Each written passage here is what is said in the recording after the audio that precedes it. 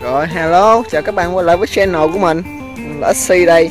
Thì hôm nay mình sẽ làm cái clip nhân dịp cuối năm ha. Hôm nay là 28 Tết rồi. Thì đầu tiên mình xin gửi lời chúc sức khỏe đến toàn thể các bạn đã ủng hộ channel của mình trong thời gian qua. Thì channel của mình vừa đạt 3.000 lượt, lượt subscribe. Thì mình ờ, rất là cảm ơn các bạn đã theo dõi mình xin cảm ơn ạ. Rồi mình xin chúc cho gia đình và các bạn sức sức khỏe dồi dào một năm mới, an khang thịnh vượng. Vạn sự như ý. Phát tài, phát lộc nha. Rồi, hôm nay mình sẽ làm video clip này để đánh giá về cái bộ cung tay của mình sau hiện tại là mình đã đi được gần 15.000 km rồi 14.000 mấy trăm cây á. Tại mình đi di chuyển hơi nhiều.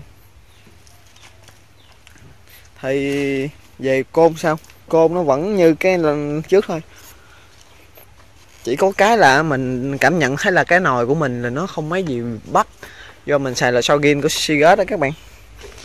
Côn thì nó vẫn nhẹ, vẫn mềm. Chỉ có cái là cái nồi nó bắt không có kịp. Còn mình đã mình đã mở cái nồi này ra mình kiểm tra.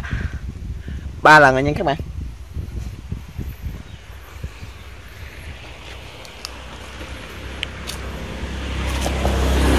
thì là hiện tượng á, cái nồi này là hiện tượng là không không có cái hiện tượng mà cháy bốn nồi nha các bạn. Mình đã mỗi lần mình thay nhớt thì mình thay ba lần đầu thì mình có mở cái điều có mở ra mình kiểm tra hết là không có hiện tượng là bị cháy bố nồi. Bố vẫn còn đẹp. Bố đẹp không cháy. Lá phíp của sắt thì còn y nguyên luôn cũng không mòn luôn thì nói chung nồi rất là tốt, chỉ có cái mình cảm nhận rất là so nó hơi ờ, hơi bắt hơi chậm thôi. Mình đây mình có chạy cung tay mấy chiếc exciter của bạn mình á, thì cảm thấy nó bắt chậm hơn.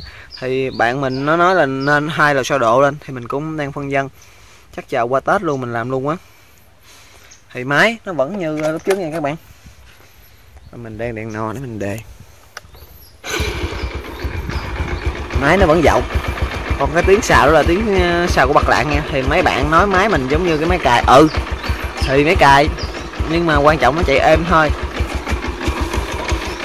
Cái cảm quan trọng là cảm giác chạy của mình á, chứ không phải là cái tiếng máy như thế nào. Mày mình mình học chuyên ngành cơ khí nên mình biết cái nguyên nhân mà dẫn đến cái hiện tượng nó kêu cái máy là như do ở đâu ra. Nên mình có thể khắc phục được. Tại mình chưa có thời gian, cái mình kinh tế mình cũng chưa có đủ nữa rồi ờ, nhân đây thì mình xin uh, có một đôi lời mình hơi ức chế về một số bạn. Một số bạn lên xem video clip mình á thì không hay thì thôi có thể là thoát ra đừng có xem nữa. Mà ở đây các bạn lại là nói cái gì xe ghẻ bèo mà cũng đưa lên youtube. Rồi xe ghẻ bèo nhưng mà người ta đó là cái niềm đam mê của người ta. Người ta thích thì người ta mới đưa lên cho các bạn cùng đam mê chia sẻ. Rồi tại sao gần một số người lại nói là tại sao không đi, đi mua Exeter Winner hoặc là Asilo hay là mấy chiếc mô tô đi? Đơn giản như mình không có tiền thôi. Nếu mình có tiền thì mình cũng mua những chiếc đó mình chạy ra các bạn. Đó. Thì hiện tại là xe mình đã chạy được gần 15.000 km rồi. Thì cho thấy là cái bộ nồi rất là tốt. Số rất là êm và số rất là nhẹ luôn. Thì cũng như trước thôi. Ừ mình đề máy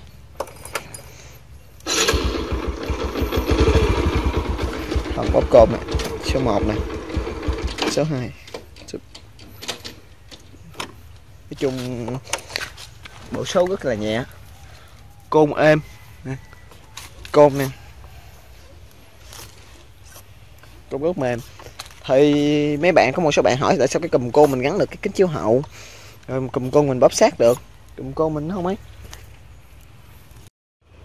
thì đơn giản thôi, mình xài một cái cùm cung tay của Exeter 2010 các bạn. Đây là full bộ cung tay của Exeter 2010 luôn nha. Nó gồm có một cái tay côn, một cái cùm đặng mình bắt cho cái ghi đông á. Hai con ốc, một con bán rồi hệ thống dây côn với hệ thống tăng chỉnh côn phía trên này. Thì mình ờ, chỉ cần cắt cái chân kính ở trên đây nè các bạn. Mình mài nó lại, mình bắt này vô thôi, mình đi dây, mình đi lòn xuống đầu đèn, lòn vào cái cái phần mà dây DMS đó các bạn rồi mình đi qua đây nè đây. Mình đi xuống dưới này mình đi bọc ngang bô e. Rồi xong mình đi qua bình săn con mình đi xuống đây. À, cái bát này thì do của x1 là nó gắn cái xi là như zin luôn. Thì nó lòn xuống nhã luôn không cấn nhã luôn luôn các bạn. Ở rồi khoảng 2 ly á. Rồi có cái bát ở đây. Sử dụng dây của 2010 thì nó hơi ngắn hơn so với dây của X1 nha các bạn. Nhưng chạy vẫn bình thường nè. Đó. Uhm, thì video clip mình đến đây chắc cũng kết thúc được rồi. Uhm, chủ yếu là mình uh, cho cái lại cho các bạn biết cái cảm nhận và nói chung là sau mình đã chạy 15.000 km rồi xe nó có hiện tượng gì không? Tức là hay xem vẫn y như zin nha các bạn. Vẫn y như zin và nồi khi không cháy chạy thì rất là bốc.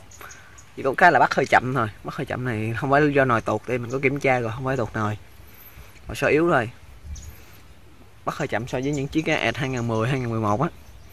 Côn côn nhẹ. Cực kỳ nhẹ luôn. Thấy không? Nhẹ lắm. Chạy thì phê lòi. Còn tiếng máy thì, tiếng máy thì giọng thì phải chịu thôi. Còn còn cái tiếng này là tiếng mình nghĩ là do bạc đạn á. Tại vì mình cũng mình cũng vừa mới hai cái cục tạ rồi. Mình mình đã chuyển qua, mình sử dụng cục tạ của X1 luôn rồi. Thì hôm nào mình có vẽ máy, mình quay clip để cho các bạn xem nha. Ở trong đây là hiện tại là mình, máy mình gần như là full X1 luôn đó. Là nồi thì nồi Seagood bộ số X1 tạ X1 rồi, video clip mình đến đây là kết thúc thôi ha. Thì các bạn thấy hay. Thì nhớ like, share và subscribe kênh mình. Rồi, góc trái màn hình của các bạn á. Có cái facebook của mình thì các bạn có cần biết thêm cái thông tin gì thì cứ kết bạn rồi inbox cho mình mình sẽ trả lời tất cả các bạn nha. Rồi mình xin cảm ơn các bạn. Chúc các bạn một năm mới tràn đầy niềm vui nha.